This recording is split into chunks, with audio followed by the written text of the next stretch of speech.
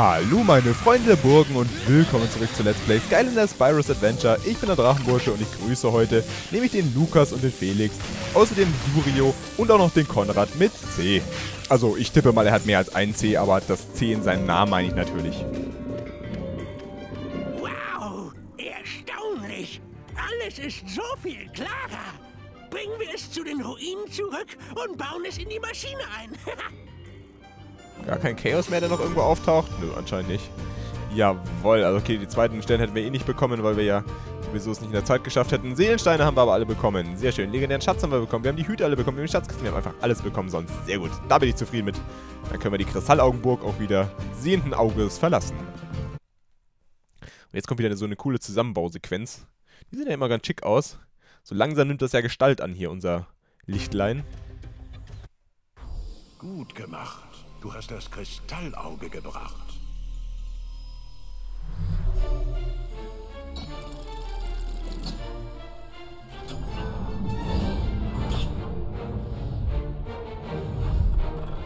Es geht echt sehr weit runter, diese Maschinerie hier.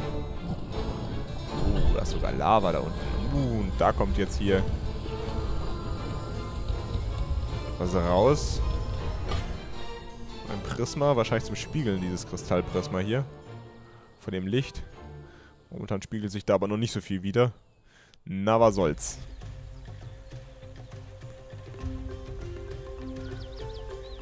Danke. Jetzt müssen wir die ewige Erdquelle finden. Die Bewohner von Steinstadt haben sie geborgen und beschützen sie, bis wir dort eintreffen. Hurra! Ja, endlich! Das war einfach. Was habe ich dir gesagt? Kinderleicht! Äh, abgesehen von Chaos, der wachsenden Finsternis und stinkenden Zyklopen, die alle genau das gleiche suchen wie wir. Oh ja, gut. Ja, also, wenn man das mit einberechnet. Dix kennt bestimmt den Weg. Wir sollten ihn fragen. Gut, dann fragen wir Dix doch mal. Sag mal, was hältst du von einem Besuch in Steinstadt? Äh, ja, wenn du, wenn du schon so fragst, da sagen wir nicht nein, oder? Gehen wir einfach direkt hin. Okay, Zeit zu buddeln. Aber wir müssen über die Steinbrücke, bevor wir anfangen. Folge mir. ähm, äh, sag mir Bescheid, wenn wir dort sind, okay? Äh, vielleicht sollte doch ich vorausgehen. Ja, Tatsache, ich gehe auch voraus. Okay, das hier sieht so ein bisschen vielleicht asiatisch angehaucht aus. Hm, schauen wir mal. Also gut. So weit kann ich dich bringen. Steinstadt liegt gleich hinter dem Zyklopen-Außenposten. Aber der Boden bebt schrecklich. Und diese Vibrationen. Ich spüre, dass hier etwas nicht stimmt.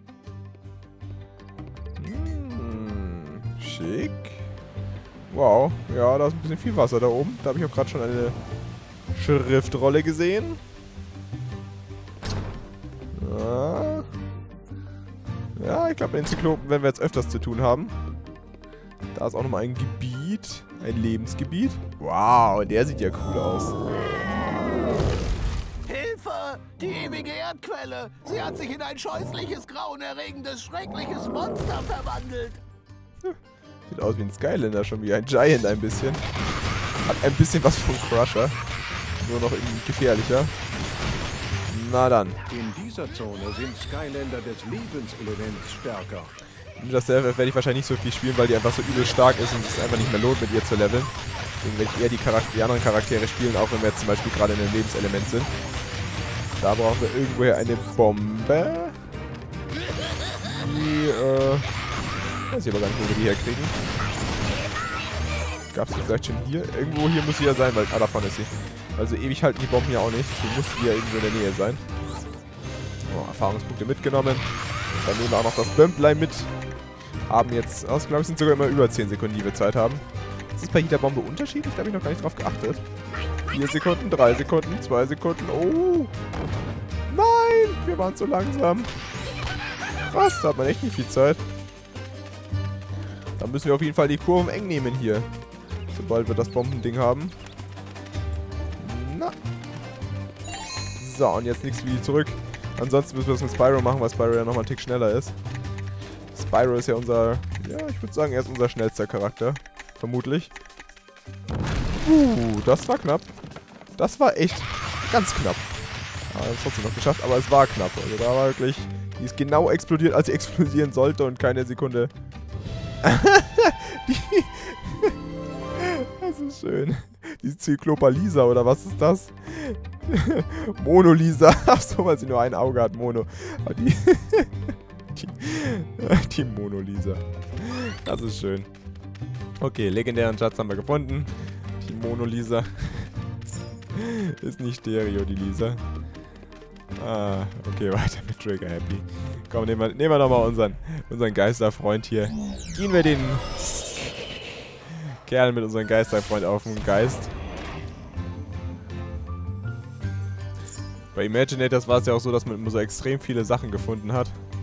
Also so extrem viele äh, Erfahrungsbooster, würde ich es mal nennen. Also solche kleinen Kugeln, wo man immer extrem viel Erfahrung bekommen hat. Die gibt es hier logischerweise auch nicht. Die waren bei Imaginators natürlich dafür da, dass man seine selbst erstellten Charaktere auch ein bisschen schneller leveln konnte.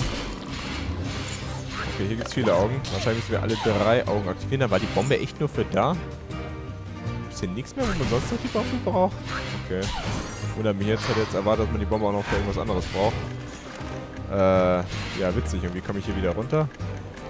Ah, so. Man kann da direkt wieder runterlaufen. Das war für mich in dem Moment nicht zu sehen, weil er auch so kurz, kurz da festgehangen ist. Ja. Ja, das sind hier echt mal Zeitsachen, wo man wirklich schnell sein muss. In dieser Zone sind Skylander des Wasserelements stärker. Im Blauwassersumpf. Wir haben ja den Gil Grunt noch gar nicht so viel gelevelt. Deswegen nehmen wir den jetzt mal wieder. Damit der auch nochmal hier ein bisschen stärker wird. Uiuiuiui. Gut, dass wir hier die Attacke haben, wo wir gegen viele Gegner gleichzeitig kämpfen können. Die ist gar nicht schlecht gerade gewesen. Da haben uns hier echt gerade viele vom Hals gehalten. So, aufgespießt. Ah, diese blöden Dreher. Ich vergesse immer, dass ich die da nicht angreifen kann. Die nerven schon ein bisschen, muss ich sagen. Na gut. Zum Glück gibt es hier noch ein bisschen Käse. Ich hoffe, du magst Käse, Grunt. Wenn nicht, dann, ja, blöd gelaufen. Musst du ihn wohl übel trotzdem essen, um deine Lebensenergie wieder aufzufüllen. Und ich denke, das ist es wert. Da kann man dann auch mal in den... Normalerweise würde man sagen, bitteren Apfel, in dem Fall dann wahrscheinlich stinkigen Käse beißen. Ah, da ist die Schriftrolle. Ich wollte gerade schon da weitergehen, weil ich dachte, das hier wäre der Weg, wo es weitergeht. Aber nein, hier ist die Schriftrolle versteckt. Ich glaube, die neunte, die wir jetzt schon haben. Ich glaube, bei 10 gab es auch nochmal einen Erfolg, wenn man 10 Schriftrollen hat. Gab es, glaube ich, auch nochmal 40 Gamerscore oder so. Da wird ja der Gamerscore Hunter wieder geweckt bei mir. Blut, noch ein Meer aus Gold machen dich zu einem Portalmeister. Entweder hast du das Glück, mit der Macht geboren zu werden, ein Portal zu beeinflussen, oder eben nicht. So einfach ist das. Was wir nicht wissen, ist, wieso die Anzahl an Portalmeistern über die Jahrhunderte hinweg steigt und fällt. Vielleicht erscheinen sie, wenn sie am dringendsten gebraucht werden. Ja. Oder wenn neue Skylander-Spiele erscheinen, man weiß es nicht. Ich nehme das ja gerade im Januar auf, deswegen weiß ich noch nicht, ob dieses Jahr ein Skylander-Spiel erscheint. Ich hoffe es einfach mal. Eigentlich waren die Skylander-Spiele ja schon immer ganz nett. Das hier mag ich zum Beispiel auch wieder ganz gerne. Wobei das ja auch das erste ist und eigentlich auch meiner Meinung nach, ja, bisher gefällt es mir fast noch am besten mit. Weil es einfach so viel Abwechslung bietet, so viele verschiedene Level. Wobei Swap Force auch ziemlich cool war. Imaginators war jetzt zwar von der Story nicht so... Oh, da komme ich nicht hoch. Imaginators, Imaginators fand ich damals von der Story zwar nicht ganz so überragend, aber Imaginators... Wobei, die Story war auch nicht so schlecht. Bei Imaginators war es vor allem cool, dass man einfach so viele böse Charaktere spielen konnte. Das war damals echt eine feine Sache. Äh, ich glaube, wir gehen gleich nochmal ein bisschen surfen. Steinläufer, feurige Magenverstimmung. Okay. Ah ja. Das mit der feurigen Magenverstimmung kennen wir ja auch schon von Eruptor. Wobei wir den in dem Spiel gar nicht gesehen haben, da wir ihn ja nicht haben als Charakter. Aber der ist hier, glaube ich, auch zum ersten Mal aufgetreten. Oh, die erste Truhe. Da haben wir bisher jetzt nur eine gefunden. Äh, schauen wir mal, ob wir da noch mehr von finden. Zumindest sollte es bald wieder Verbesserungen für... wie überall Augen drauf sind auf allen Münzen oder was auch immer man hier findet. 1000 hat Gil Grunt auch schon wieder, das ist gut. Und Stufe 3 ist er auch schon. Wo führt uns denn das hier hin? Ah, und da hätte man jetzt nochmal... Da wäre man jetzt auf jeden Fall nochmal auf die Schriftrolle gestoßen. Ich verstehe. So war das vom Spieldesign gedacht, dass man die auf keinen Fall übersehen kann, diese Schriftrolle. Finde die Schriftrollen ja auch nicht so schlimm. Ich weiß nicht mehr, in irgendeinem Spiel waren diese Schriftrollen so ewig lang. Ich glaube, das war auch bei Swapforce, wo, sie, wo wir sie dann irgendwann nicht mehr durchgelesen haben, weil sie so extrem lang waren. Oh, du greifst uns gar nicht an. Ja, umso besser. Äh, wo müssen wir lang? Müssen wir da lang oder? Ich gehe jetzt einfach mal da lang. Erdzauberknilch. Zauber verleiht Gegnern in der Nähe magische Rüstung. Das mag ich aber gar nicht so gerne. Das gefällt mir nicht so. Ah, ein Schlüssel. Der Schlüssel zum meinem Herzen. Nein, ich weiß nicht, was, was dieser Schlüssel ist. Oh, voll Lebensenergie haben wir auch wieder. Jawoll, ja. Was auch immer da unten kommt. Gleich ist es tot. ah, haben wir ihn gerade mal ein bisschen Lava spucken sehen. Oh, die bleibt sogar relativ lange da, die Lava. Sollen wir nochmal hier außen rum surfen? Ich glaube, hier ist nichts mehr, wo, wo, wo, es wo, wo es sich lohnen würde zu surfen. Selbst die Chompies haben gerade Rüstung von ihm ver verpasst bekommen. Hat aber ihn aber auch nicht so viel verpasst, äh, nicht so viel gebracht, weil die trotzdem nicht so viel aushalten. Und einen Seelenstein haben wir gefunden. Das ist bestimmt Eiselement, oder? Der sah so bläulich aus. Seelenstein gefunden, neue Kraft verfügbar für Lux, also der Luxus Blitzerfeld heißt diese Kraft und sie ist für Lightning Rod. Und wie bist du so, Lightning Rod? Oh, sowas Zeus-mäßiges bist du, Lightning Rod. Oh ja, der ist definitiv von Zeus inspiriert. Aus der griechischen Mythologie hat er es auch in dieses Stack Islander Spiel gebracht. Aber ist ja klar, irgendwoher müssen sie ja auch ihre Inspirationen immer bekommen, die Macher von Skylandern. Und da bieten sich natürlich so mythologische Sachen gut an, weil die natürlich auch immer so coole Fähigkeiten damals hatten, wie Blitze, Schleudern und sowas. Diese Götter. Die Mythologie in der Griechung. Ah, da ist der Schlüssel. Genau, den Schlüssel haben wir schon gefunden. Da wir hier alles so gut erkundet haben. Ja, was ist der Jumpy? Ja, genau. Ich muss hier mehr die Wasserfähigkeit machen. Die ist ja viel... Damit macht man die ganzen Sachen ja viel schneller kaputt. Und wir machen hier erstmal auf. Mach hoch die Tür, das Tor macht weit. Es kommt gleich der Grund der Herrlichkeit. Skylander des Erdelements stärker. Sieht ja eher nach Geisterelement aus. Ah ja, das hatten wir auch schon mal in irgendeinem vorherigen Dingens gesehen. Äh, wo muss hier was hin? Wahrscheinlich müssen wir hier auch eine, einen Weg bauen oder so. Ja, ich glaube, hier muss man... Ja, genau, den schieben wir jetzt wieder da rein und dann können wir da, können wir da oben rumlaufen. Ich weiß, es gab auf der linken Seite auch noch einen Weg, aber ich tippe mal hier ist eher das Bonusgebiet, wo ich hier gerade rumlaufe. Den müssen wir auch noch verschieben, damit wir dann wieder weiterkommen.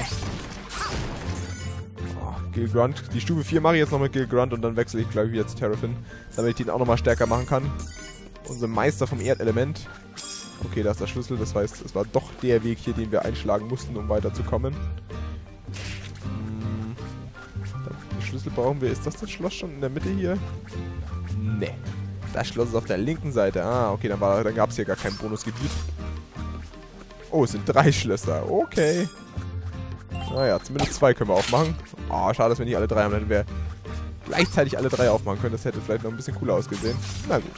Was soll's. Was ja auch gar keine Gegner sind. Ah! Kommst du her, du Dieb? Das ist bestimmt der Schlüsseldieb. Ja, ich wusste doch, dass du mir den Schlüssel klauen willst. Mittlerweile kenne ich euch doch, ihr kleinen gemeinen Diebe. Ihr teuflischen Kerle, ihr. So, erste Stufe aufgestiegen. Jetzt müssen wir uns merken, dass wir den auf jeden Fall nach diesem Level wieder verbessern. Nehmen wir Terrafin. Also der trojanische Helm steht ihm ja eigentlich sogar. Das sieht nicht schlecht aus. Und dann gehen wir wieder unterirdisch. Wobei das Erdgebiet hier wird eh gleich wieder vorbei sein, habe ich so das Gefühl. Da sind noch ein paar böse Knilche. Der dreht schon völlig durch da unten, der Knilch. Ah, die können wir wahrscheinlich so einreißen. Ja. Schön alle weghauen. Wir merken uns, immer jetzt alle Truhen kaputt machen. Oder alle Kisten auch kaputt machen, weil es könnte sich ja noch etwas dahinter verbergen. Sowas wie ein legendärer Schatz. Wie die Mona Lisa. oh Mann. Mit einer der besten Witze, die das Spiel auf jeden Fall gemacht hat, die Mona Lisa. Ah, die haben jetzt mehr Rüstung.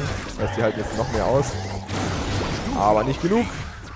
Terrafin ist jetzt auch schon Stufe... Was heißt auch schon? Ist endlich Stufe 2. Da bekommen wir eine Bombe. Da müssen wir nach oben. Wo, wo brauchen wir da was oben?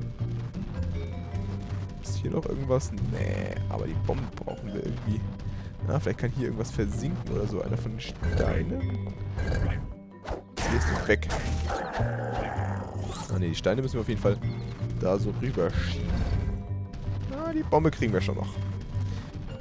Der muss da rüber, der Stein. Oh, ich glaube, ich habe gerade etwas getan, was ich nicht hätte tun sollen, oder? Können wir den da oben auch runterschieben wieder? Dann geht es auch noch weiter. Ah ne, den können wir da... Ah, und da ist ein Erdloch. Vielleicht ist in dem Erdloch was verborgen. Ne, das, das Erdloch ist anscheinend nur für Steine gedacht. Na, dann halt nicht. Okay, da brauchen wir noch einen Stein. Dann verwenden wir den erstmal dafür, dass wir den darüber schieben. Nein! Verdammt, wir haben uns hier verschoben. Wir kriegen die Bombe nicht. Nein! Wie ich das lasse. Verdammt, da haben wir uns, da haben wir jetzt echt Mist gebaut.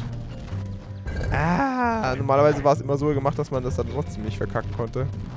Okay, erst denken und dann hier schieben. Merken wir uns fürs nächste Mal. Ach, schade. Kommen wir hier doch nicht raus. Schade. Ich, ich hätte echt noch gerne geguckt, was da drin ist in dem Gebiet. Naja, dann halt nicht. Normalerweise war es ja echt immer so, dass man es gar nicht verkacken konnte. Immer noch eine Möglichkeit gab, weiterzukommen.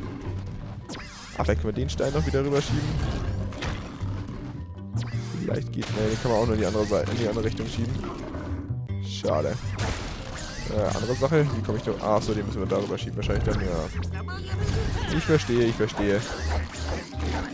Ich verstehe, ich verstehe. Können wir ihn ja trotzdem nochmal ganz nach da schieben, in der Hoffnung. Nein, wieso können wir den da nicht weiterschieben? Ach, gemein. Da hat das Spiel gerade eben... Hat das mich überlistet. Verdammt. verdammt, verdammt. Ah, ne. Momentan gibt es ja echt keine Möglichkeit mehr hinzukommen. Ah, ärgerlich. Vielleicht, vielleicht, stand, vielleicht habe ich auch noch irgendwo einen Stein übersehen gehabt. Wir könnten den jetzt auch noch dahin schieben, dann haben wir es komplett verkackt. Wobei, den kann man gar nicht mehr viel schieben. Ne, hier gibt es auch keine Möglichkeit mehr, Steine rumzuschieben, glaube ich. Sonst irgendwelche Bomben gab es ja auch nicht dem Gebiet. Ne, da gibt es nur dich hier, der, der da rumballerst. Ne, das war es definitiv an Bomben.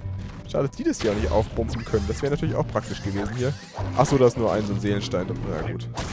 Natürlich die Frage, für wen der Seelenstein ist. Kann man das sehen von hier aus? Das ist mal zu schauen, aber äh, ich sehe es nicht, für wen der Seelenstein ist. Ich hoffe, das ist nicht für einen der Charaktere gewesen, die wir hatten. Das wäre natürlich ärgerlich gewesen. Wenn wir den verpasst hätten jetzt. Naja, was soll's. Man kann nicht immer alles bekommen. Ich glaube, die Seelensteine zählen aber auch zu dieser Statistik ganz am Ende dazu. Das heißt, unsere Statistik ist dann nicht mehr perfekt. Unsere perfekte Statistik. Nein. Äh, schade, dass wir dir nicht, dich nicht irgendwie da weghauen können. Das wäre natürlich auch noch schön gewesen. Was soll's. Was soll's. Kann man hier rüberschieben. Und dann gehen wir oben rum und kommen dann auch gleich weiter. In diesen doch etwas erhöhten Level. Irgendwo und nirgendwo schwebt. Jetzt habe ich auch noch irgendwas Schönes gesehen.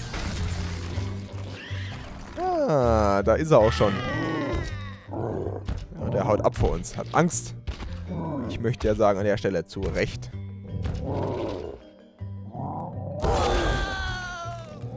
Oh, Glück gehabt, dass er ihn nicht zermatscht hat, sondern dass er ihn nur weggeschleudert hat. Ja, hallo auch. Erst den Knilch, oder? Dann haben die anderen nicht mehr so viel Lebensenergie. Mann, oh, jetzt spuckt der hier schon alles voll, dann kann ich weiter. Muss ich kurz warten. Nochmal einen Blick. Nein. Ich muss es wohl, ich muss es wohl einsehen. Ich habe es an der Stelle verkackt. Kommt manchmal auch vor. Ganz selten natürlich nur. Stufenaufstieg. Oh, nächster Stufenaufstieg. Willkommen im Randbezirk. Hier ist doch bestimmt auch noch irgendwas drunter verborgen unter irgendeinem von denen. Hier liegt einfach so ein bisschen Münzen rum. Hier gibt es auch noch so ein kleines Häuschen. Da können wir früher oder später bestimmt auch noch hin. Oh, ein weiteres Gebiet. Dieses Mal für das Lebenselement. Dann setzen wir doch jemand von Lebenselement drauf. Ninja Stealth Elf höchstpersönlich. Du brauchst einen Lebensfreiländer, um dieses Tor zu öffnen. Und den haben wir ja doch in Form von Ninja Stealth Elf auf jeden Fall schon. Hier in der rebellischen Stadt. Konnte man, glaube ich, runterspringen, oder? Ja, hier kann man runter. Die Häuser kann man nicht kaputt machen, zumindest die lassen wir stehen. Oh, das scheint sogar relativ groß zu sein, das Gebiet, in dem wir hier uns vergnügen dürfen. Hier ist irgendwas zum Springen, da kommen wir dann in eine höhere Ebene. Na dann mal ab nach oben. Ah, doch mal auch eine Truhe. Wenn ich richtig mitgezählt habe, die zweite, in dem, die wir bisher gefunden haben in dem Level. Ah, nee. Ja, doch, doch. Es steht nur da, wir haben eine gefunden. Das war nicht die letzte. Okay, gut, dass wir keinen Fallschaden bekommen. Das war nämlich dann doch ein etwas höherer Sturz, den wir hier gerade vollzogen haben. Da ist auch irgendwas drin in dem Haus. Okay, waren anscheinend nur Münzen. Aber hat das so schön geleuchtet hier. Ist sehr ruhig momentan noch. Ich finde so ein bisschen die Gegner. Ist ein bisschen ungewohnt, dass hier keine Gegner sind. Aber irgendwann kommen hier bestimmt auch nochmal Gegner. Ah, da kriegen wir auch nochmal eine Bombe. Hm, da können wir die ja mit raus. Äh, wofür brauchen wir die denn? Ah, ah. Das ist neu. Ah ja, dafür brauchen wir die Bombe. Okay. Um das letzte Geschenk einzulösen, brauchen wir die Bombe. Ganz zurücklaufen können wir, glaube ich, nicht, dass wir da noch was anderes aufsprengen können, das, was wir übersehen hatten. Einmal runter mit dir. Und dann nochmal gleich nach oben mit dir. Und dann schmeißen wir die Bombe auch gleich. Schön. Treffer versenkt. Truhe gefunden, Geschenk gefunden, alle zufrieden. Muss sie leider den Feeshut absetzen und einen Zylinder dafür aufsetzen. Der sieht aber auch cool aus. Jetzt ist sie Zylinder Stealth Elf. das ist so schön, wenn die Hüte einfach mal so groß sind, dass man den Skylander darunter fast nicht mehr sieht. Das finde ich sieht immer sehr witzig aus. Dieser Aber Ninja Stealth ist es dann doch ein bisschen zu stark, deswegen nehmen wir lieber jemand anderen hier an der Stelle. Jetzt habe ich es runtergeschmissen vom Tisch, das wollte ich eigentlich gar nicht. Du brauchst einen Lebensskylander, um dieses Tor zu öffnen. Aber da das Tor schon offen ist, brauche ich den jetzt nicht mehr. Deswegen gehen wir weiter nach oben. Oh, wir haben alle Gebiete entdeckt. Zur grollenden Schlucht, wo uns der Bosskampf gegen den da droht. Der auch schon mächtig schlechte Laune zu haben scheint. Dieser Steinriese. Oh ja, der hat auch relativ viel Lebensenergie. Wow! Leider ist der Part dieses Projektes nun auch schon vorbei, doch es bleiben dir drei Möglichkeiten, um weiterzumachen. Klickst du links oben auf das Bild, kommst du zum nächsten Video dieses Projektes. Klickst du hingegen links unten auf das Bild, kommst du zur Playlist, wo du alle Videos des Projektes nochmal in der Übersicht findest. Klickst du rechts oben auf das Bild, kannst du meinen Kanal abonnieren, was mich sehr freuen würde. Ich wünsche dir wie immer eine wunderbare Zeit und möge die Macht mit dir sein. Servus.